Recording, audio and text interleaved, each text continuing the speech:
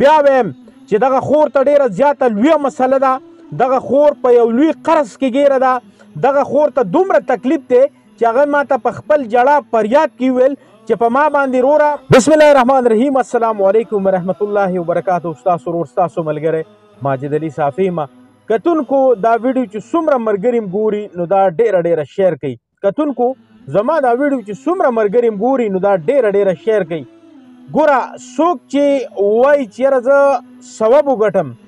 او څوک وای چې یار زه د چا سره خیرات صدقه وکم نو تاسو سره دوه اپشن دي زما تر طرفه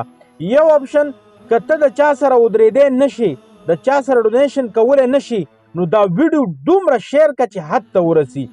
بل که څو غواړي چې زه ډونیشن کول غواړم نو اوس په تاسو سره یو نمبر شریک کوم په دې ویډیو کې هغه هغه نمبر باندې تاسو کال کولای شئ نن کتونکو د یو خور فریاد د یو خور جړا د یو خور خفګان تاسو مخې ته کدم چې کوم خور ما سره رابطه وکړه او هغه ډیره زیاته خپه وه هغه دی پوری چې هغه ویل چې ماجد بای زمونږ په کور کې د رزق درک نه لګي په دغه خور باندې 15 لک روپۍ قرض دی دغه خور په یو مصیبت کې ګیره دا دغه یو خور د خپګان سره مخ ته دغه خور دومره په جړه پریاد باندې ماته کالو کو چې آیا څوک په پدې دنیا وی چې زمونږ د قرض به ختم شي داسې څوک بم وی چې مونږ سره ډونه شنو کی دا چې څوک بم وی چې مونږ له لاس راکی ضروري د یو د مسلمان په طرز د مسلمان د ورور چې او مونږ به دا قرض به الله په خلاصي ستا قرض به الله په خلاصي او مونږ به در سره ان شاء الله دا پښتانه رونه به ان شاء الله تا سره ودرېږي نو زما ټولو پښتنو ته دغه یو ریکوست چې دی اخره کې نمبر راځي دغه خورکۍ دوی سره رابطه وکړئ دوی سره ودرېږئ زه بیا ستاسو صفت به زه بار بار په دې باندې کوم چې ما کلم یو ویډیوز کړی ده او په هغې کې ما د یو خورکۍ نمبر ورکړی دی همدا پښتانه هم دقه خور سره ولاړ دي همدغه خور سره اډونیشن هم کړی دی امداد هم کړی دی د هغې ستونزې د هغې غمونه یو الله ختم کړي دي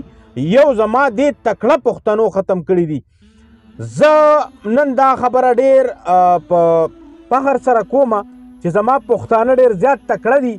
هر سړی بنن تنخوا غستی وي زه به دا ویم چې زه به د خپل جیب هم د خور له سلګ ډیر ډونیشن ورکوم خو د دې سره سره به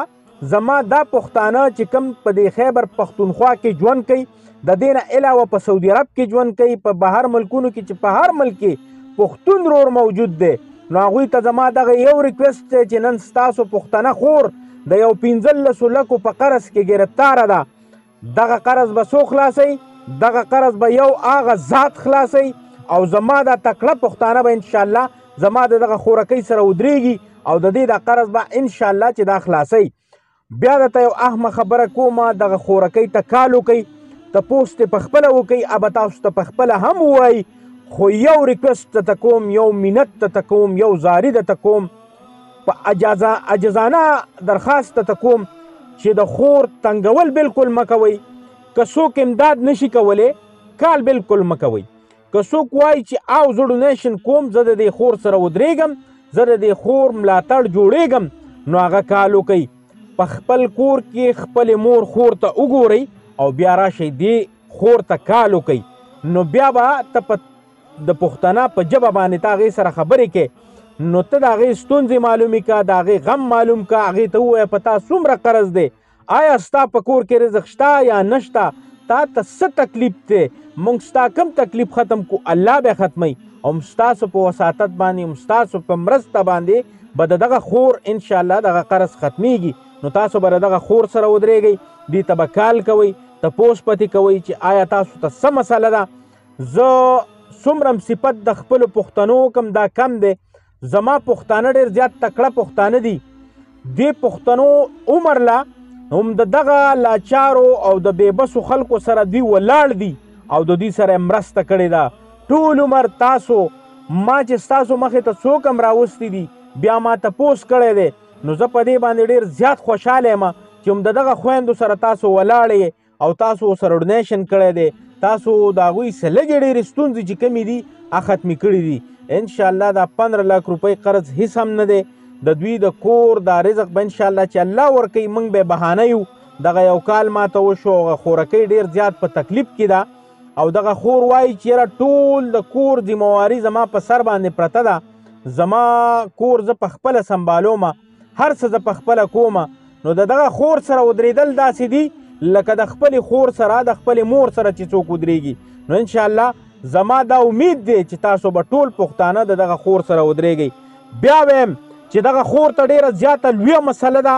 دغه خور په یو لوی قرض کې ګیره ده دغه خور ته دومره تکلیف دی چې هغه ما ته په خپل جړا پریاد کې ویل چې په ما باندې رورا 15 لاک روپۍ قرض دی زما په کور کې رزق نشتا